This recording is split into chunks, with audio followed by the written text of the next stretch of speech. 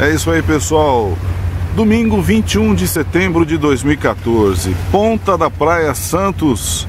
Ao fundo a gente tem aí a fortaleza de Santo Amaro da Barra Grande, que durante muitas décadas e séculos defendeu a Vila de Santos da invasão dos piratas, dos corsários.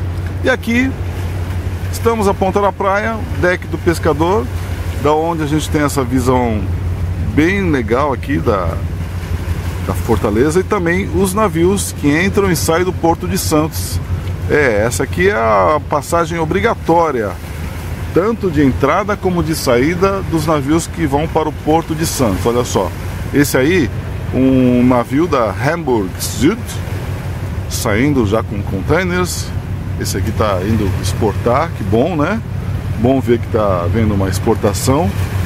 E é um navio bem característico, sempre avermelhado. Então é um navio bem bonito que a gente vê que tem bastante é, tráfego aqui no Porto de Santos, os navios desta companhia de navegação. Deck do pescador, vamos dar uma olhadinha aqui. A gente tem uma visão da Baía de Santos. Hoje está chovendo, pois é, chovendo, chuviscando em Santos.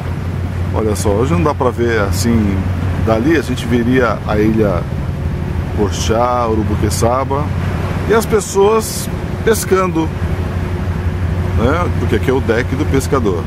E aqui uma visão da ponta da praia nesta manhã de domingo. Olha só, as ondas batendo e o som do mar. Bem legal esse som, né?